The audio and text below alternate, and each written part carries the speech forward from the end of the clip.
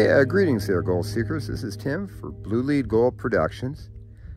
Once again, I am nowhere near the Yuba, but this is where the gold in the South Yuba comes from, or one of the locations that it does. Today, I am up on the, um, uh, on the, I think it's the North San Juan Ridge. I am up in a place called Jackass Flats. It's the huge hydraulic mine that's up here in North Columbia.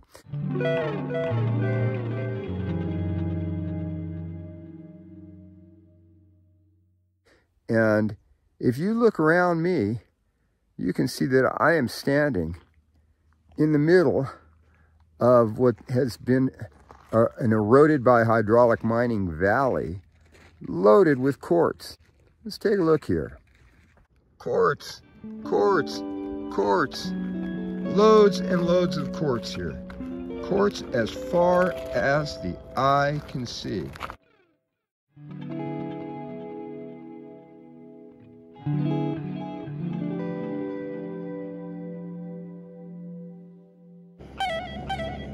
Quartz, quartz, quartz, quartz, quartz.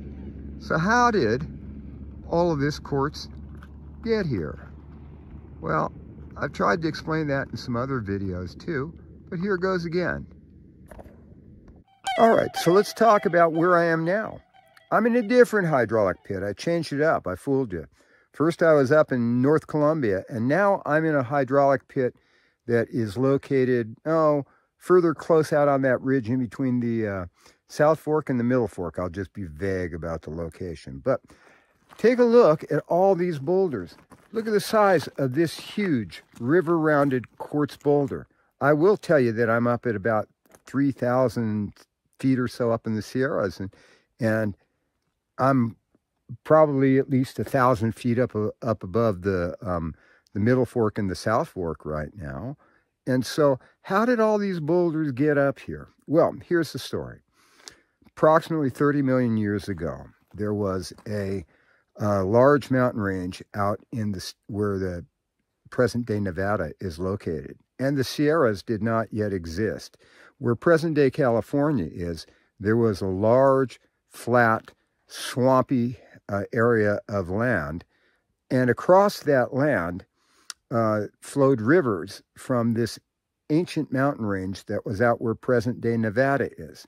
And in that mountain range out in present day Nevada, there was um, lots of bedrock and lots of quartz. And over geologic time, which the mind has uh, trouble comprehending because it's so long and so large, um, the river system that flowed out of that mountain range in ancient Nevada deposited boulders full of quartz and also deposited gold all through the area that is now modern day California. And through the miracle of plate tectonics, the Pacific plate came crashing underneath the continental plate, causing both an uplift of the continental plate and lots of volcanic activity. And what happened with um, the uplift uh, that occurred uh, due to the plate tectonics was that there was um, uh, the rivers that had previously been on flat land, they were uplifted too, along with the, the rest of the, the, the crust and the bedrock there. And there are places in the Sierras where those rivers were uplifted to like nearly 4,000 feet. If you go over the crest of Highway 49, from the canyon of the Middle Fork into the canyon of the North Fork and look at the sides of the canyon, there's a, a place right up on the very top of that ridge where there was an ancient channel, and you can see lots of rounded little quartz boulders in there. So look at this. Uh, that air, that first uh, area of the video, Jackass Flats, that area was huge. That area is the channel of an ancient river that was larger than the modern day Mississippi larger than the modern day Amazon River.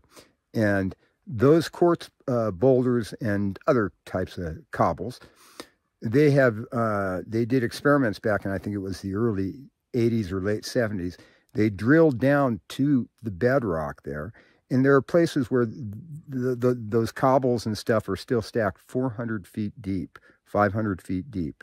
And they never reached, that, that's not a great metal uh, pit to go metal detecting in. Number one, because it's private property and they don't want you out there metal detecting.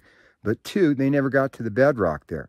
Now, in this particular uh, pit, they did get down to bedrock. And if you take a look here, this is actually a large quartz vein. Well, this is part of the bedrock in this pit.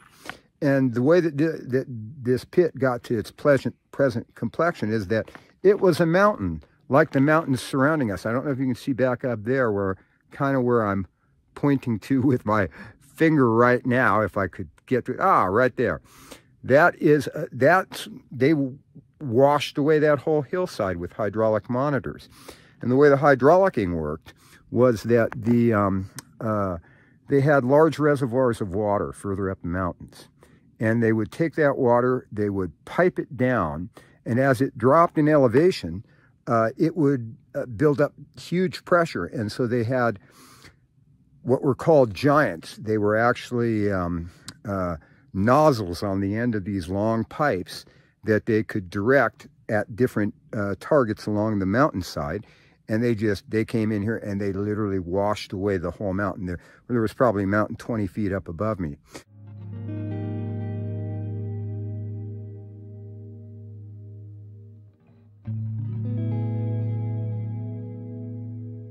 so as all of that um, uh, hydraulic uh, gravel was getting washed down out of the mountains i'll show you where they were i'll show you where they were washing it so this is this is where they were washing that gravel. If you take a look here, this is a very deep and steep pit that goes down to a tunnel. And the tunnel that it has apparently the entrance to the tunnel has now been covered up. But if you take a look, this pit is like hmm, 75, 80 feet deep or so. Uh, it washed into a, everything from around here was washed down into a tunnel that went down towards the middle fork. And apparently at the end of the middle fork tunnel, they had some grizzly bars that took the larger boulders out. And then the smaller stuff fell through their grizzly bars and they um, uh, washed that into their sluice boxes. And then eventually everything went into the middle fork whereas the, being able to dump all their tailings into the uh, South Yuba and into the uh, Middle Fork of the Yuba was very convenient for the and profitable for the hydraulic miners. A very efficient way for them to put process large amounts of material and get a whole lot of gold out of places like this. Unfortunately, it buried the South Fork of the Yuba 25, 30 feet deep, maybe even deeper in, in some spots in tailings. And that was primarily from the hydraulicing operations at Malakoff, uh, uh, Diggins, and um, also up there where we started this video up in um, uh, North Columbia where that drained out into Spring Creek. And uh, they, unfortunately, uh, the farmers and the townspeople in Sacramento and Marysville were very unhappy with that situation because when the winter rains would come, the channels that had been uh, etched out over the eons for uh, the rivers to flow out uh, into the delta, um, or into the, I guess, into the Sacramento River and then into the delta, uh, they got all silted up and filled up with the hydraulic mines tailings. And then all the farmers uh, and the townspeople down there in Marysville and Sacramento got flooded all the time. And so they did what uh, any sensible group of citizens would do. They hired lawyers and they sued. And um, uh, that litigation was called the um, Sawyer litigation. Eventually, in about, I think it was the 18, early 1880s, there was a decision by the United States Supreme Court called the Sawyer decision that basically shut down almost all the hydraulic mining operations because it said that they could no longer dump their tailings out into the river. They could still mine hydraulically, but they just couldn't be dumping all their tailings in the river. And when you can't dump your tailings into the river, apparently most of these operations just couldn't continue profitably. So that is, thank goodness, why um, uh, there is so much gold in the South Yuba. 97% of the gold that you'll see me mining in a, a, video of me mining on the South Yuba is going to be gold that um, uh, came uh, out of tailings from the uh, old-timer sluice boxes. Thank goodness they were so inefficient. They got more efficient when they started using mercury in them. uh, but um, uh, uh, just a whole lot of the gold. They cleaned them out once, maybe twice a year, and um, they just washed a whole lot of the small gold down in, into the rivers. And so that's the story of hydraulic mining. That's why um, uh, we like hydraulic pits because we come up here to these hydraulic pits and we go metal detecting. And um, it, I had a, another great adventure with O, the Waikiki sniper today. We were down on the Middle Fork for a while, and now we're at a, a hydraulic pit that used to drain into the Middle Fork. So until next time, this is Tim. Oh, I'm drinking a cold Heineken at the end of the day. It's been a good day. Um, th- until next time, this is Tim for Blue Lead Gold Productions saying hello.